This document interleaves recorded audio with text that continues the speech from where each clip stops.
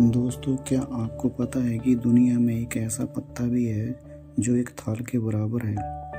ये पत्ता कौन सा है? इसका नाम है Victoria of lily leaf water. अगर कोई व्यक्ति इसके ऊपर बैठ जाए तो डूबता भी नहीं है।